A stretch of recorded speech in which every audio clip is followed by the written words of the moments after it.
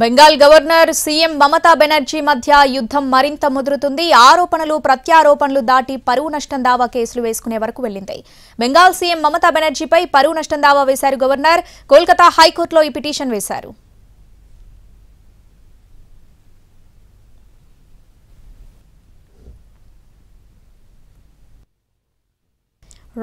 లోకి వెళ్ళాలంటే భయంగా ఉందని ఓ మహిళ తనతో చెప్పిందన్నారు మమత.